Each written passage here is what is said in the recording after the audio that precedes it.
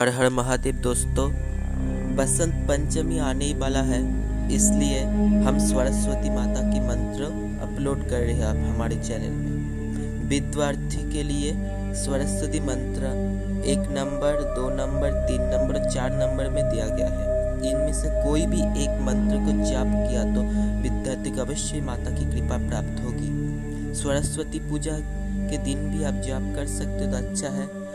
पढ़ने के, जाने के समय आप माँ सरस्वती का मंत्र का जाप कर सकते हैं। इनमें से चारों मंत्र से आपका, जो मंत्र अच्छा लगे, वही आप जाप कीजिए। माँ की कृपा होगी, आपको विद्या, संगीत, सब में अच्छा कृपा होगा, आपको वाणी सिद्धि मिलेगा। जिसको आप बोलेंगे, वो भी कार्य होगा। माँ की कृपा होगी।